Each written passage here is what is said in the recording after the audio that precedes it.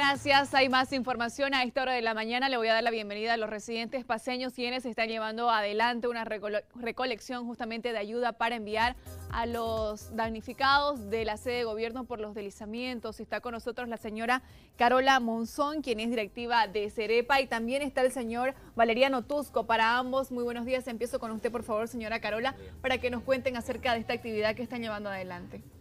Bueno, muy buenos días. Gracias por la cobertura que nos están dando.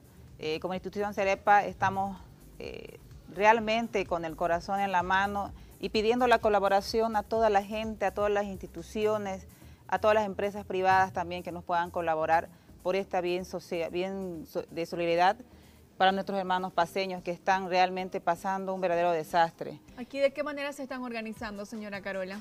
Tenemos dos centros principales de acopio que son en la calle Vallivian número 28, en la, en la Federación de los Constructores. Y tenemos también un punto que se ha abierto eh, en la plazuela del estudiante. Ya. También obviamente eh, pueden llamar a nuestros teléfonos para que nosotros podamos hacer el recojo ¿no? de lugares o personas que no pueden ir directamente al centro de acopio o a cualquier este otro punto podemos recogerlo personalmente. Don Valeriano, ¿desde cuándo ustedes están llevando adelante estas actividades y cómo ha sido la respuesta de la, de la población hasta el momento? Gracias por la entrevista. En realidad nosotros hemos empezado el día jueves de la anterior semana. Eh, tenemos respuesta positiva, por eso estamos nosotros contentos y creo que esta semana es eh, crucial, fundamental para que podamos recaudar eh, en realidad tenemos eh, contacto con, eh, con, La Paz, o sea, con los damnificados. Nuestro secretario general está allá en la ciudad de La Paz. Y ahora lo que necesitamos más víveres, ¿no? Más víveres, por eso yo convoco a toda la población cruceña y principalmente a los residentes paseños de que nos puedan ayudar, nos pueden donar eh, fideo, arroz, azúcar, aceite, también útiles escolares, ya ropa ya hay, nos comunican que ya hay suficiente ropa, entonces estamos apuntando a, ese, a recaudar víveres.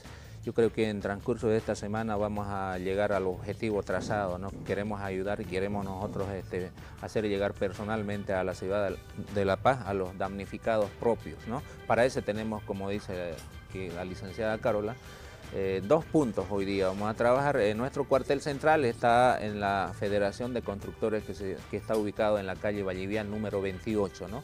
Y vamos a estar eh, en la Plaza del Estudiante. Por favor, querido población, los convoco a que eh, nos ayuden, ¿no? Ayúdenos para ayudar a nuestros hermanos paseños. Sí, Carola, precisamente ustedes tienen contacto directo eh, con las personas que también están ayudando directamente en los diferentes campamentos que se han establecido en La Paz. Sí, este, mire, es tan hermoso poder recibir tanta ayuda. Justamente ayer domingo toda la directiva ha estado trabajando igual y agradezco públicamente a los residentes orureños que nos han abierto las manos eh, muchas gracias al presidente, que es el señor Vladimir Ayala. Y bueno, todo el mundo está dando su granito de arena y qué hermoso es recibir esa gratitud. ¿Las autoridades están ayudando también del departamento de Santa Cruz?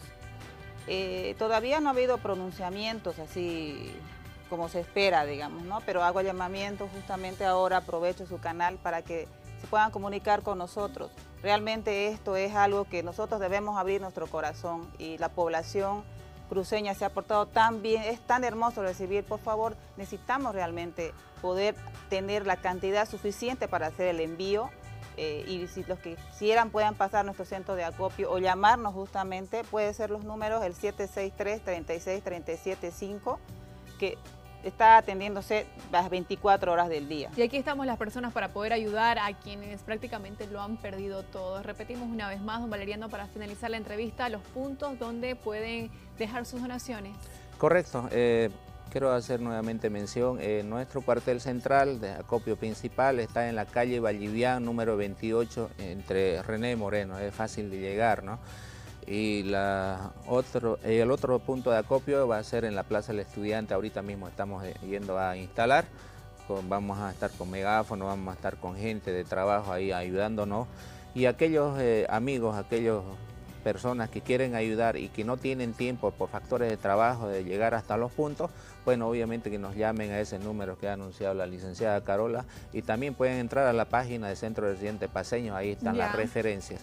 Eh, agradecer eh, a esa población que ya ha puesto su granito de arena, pero esperamos eh, que vengan en esta semana, ¿no? Para hasta el día sábado ya queremos nosotros eh, planificar el primer envío o el total envío, a ver, dependiendo de la recaudación señores periodistas. Bueno, que las respuestas sean positivas y que aquí lo más importante es unirnos todos para ayudar a los hermanos paseños. Gracias a ambos por venir. gracias. Buen día, nosotros nos vamos a hacer una pausa. Ya volvemos.